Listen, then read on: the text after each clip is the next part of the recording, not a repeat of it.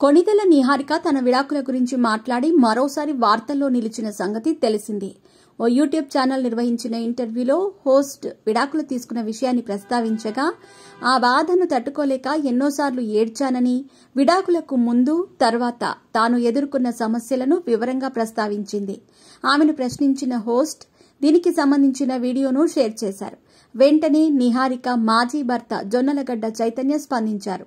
వాస్తవం తెలుసుకోకుండా ఒకవైపే మాట్లాడటం చాలా తప్పని రెండు వైపులా ఆలోచించాలంటూ సుదీర్ఘంగా ఓ పోస్టు పెట్టారు. ఇటీవల నిహారిక ఎదుర్కొంటున్న నెగటివిటీని దూరం చేసే ప్రయత్నాన్ని అభినందిస్తున్నానని చైతన్య అన్నారు. వ్యక్తిగతంగా జరుగుతున్న దుష్ప్రచారాన్ని తట్టుకోవటం తేలిక కాదని కానీ బాధితులను ట్యాగ్ చేయడంతో పాటు ఆ తరహా వేదికలను ఉపయోగించటం మానుకోవాలని సూచించారు. ఇలా జరగటం రెండోసారన్నారు.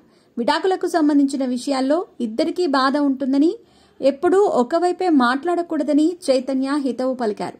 బాధ నుంచి ఎలా కోలుకుంటున్నామనే విషయంపై మాట్లాడితే ప్రజలకు ఉపయోగం ఉంటుందని భవిష్యత్తులో ఈ తరహా ప్రయత్నం చేస్తే సంఘటనతో సంబంధం ఉన్న అందరితో మాట్లాడి ప్రజలకు అవగాహన కల్పించాలని సూచించారు. జరిగిన విషయాన్ని పూర్తిగా తెలుసుకోకుండా తీర్పు ఇవ్వటం ఎంత తప్పో ఇలాంటి ప్లాట్ఫామ్స్ ద్వారా ప్రజలకు ఓ కోణంలోనే చెప్పటం కూడా అంతే తప్పన్నారు. నాగబాబు కుమార్తె నిహారిక చైతన్య జొన్నలగడ్డ గతేడాది విడాకులు తీసుకున్నారు. అప్పటి నుంచే వీరిద్దరి విడాకుల వ్యవహారం తరచుగా వార్తల్లో నిలుస్తోంది.